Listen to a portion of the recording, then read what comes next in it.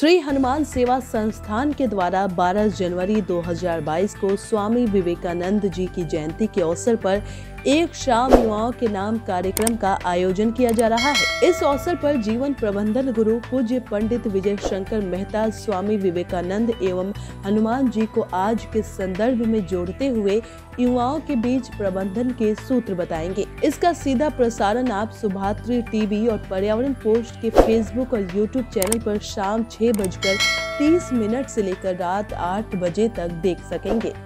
श्री हनुमान सेवा संस्थान द्वारा ये कार्यक्रम हर साल 12 जनवरी को रांची में आयोजित किया जाता है। लेकिन इस बार कोरोना वायरस की वजह से ये कार्यक्रम लाइव प्रसारित किया जा रहा है। इस कार्यक्रम के द्वारा जीवन प्रबंधन गुरु पंडित श्री विजय शंकर मेहता के सानिध्य में युवाओं को सही रास्ते पर ले जाने सवा करोड़ हनुमान चालीसा का पाठ स्वामी विवेकानंद जी की जयंती से सीख आदि सीखने और सुनने का सौभाग्य प्राप्त होता है।